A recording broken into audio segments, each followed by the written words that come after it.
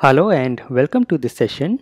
In this video, we will understand what is the difference between the traditional process of development and the BDD process and this is going to be very interesting and I will go step by step.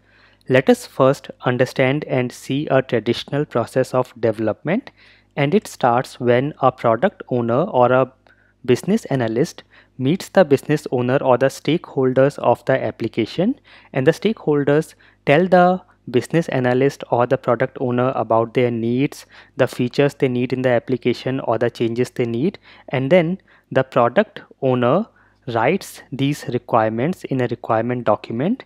And then this requirement document is shared with the dev team who starts with their coding.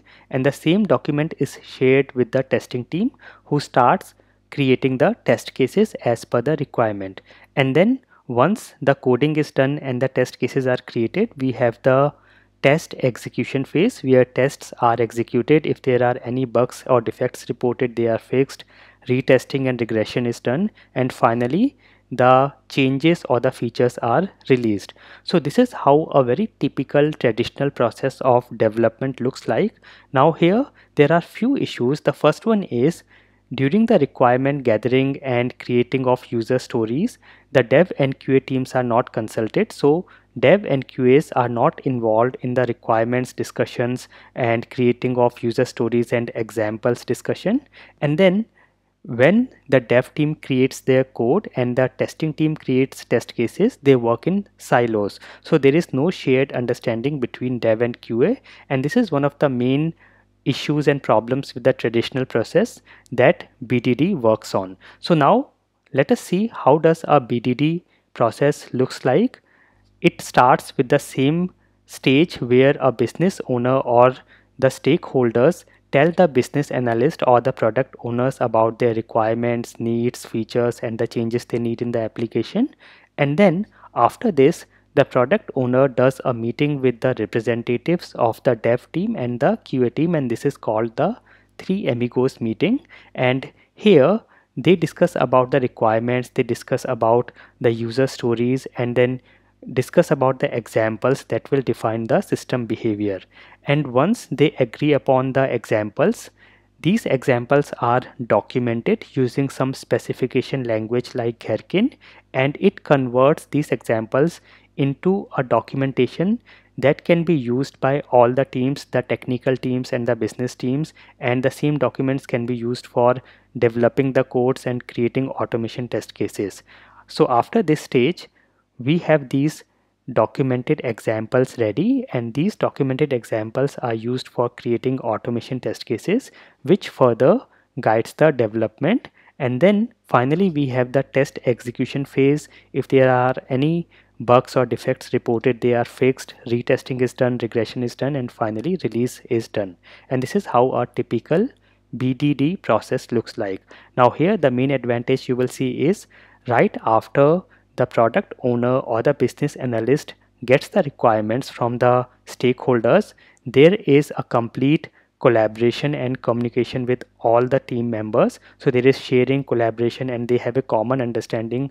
They even have a documented examples or a single source of truth which will be used by all the teams so the business team the technical teams everyone will be using the same documented examples or the same documents and that is why they all have a single source of truth. So therefore there is a lot of collaboration and a very good sharing and common understanding.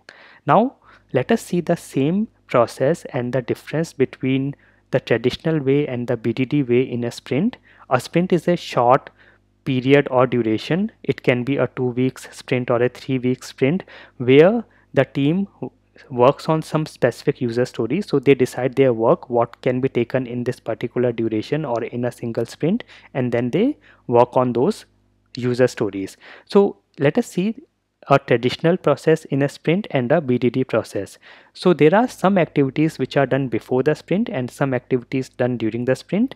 So in a traditional process, it will start with when a business analyst or product owner will get the requirements and then based on the requirements he will write user stories and the acceptance criteria.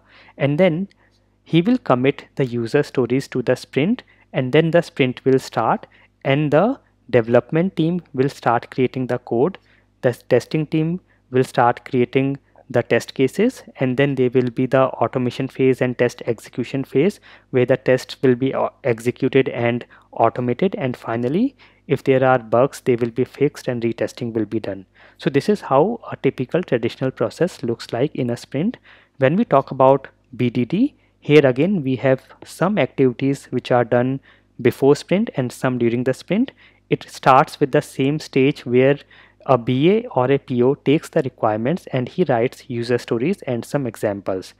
After this, we have the three amigos meeting where these examples and user stories are discussed, explored, and examples are created and discussed and agreed upon.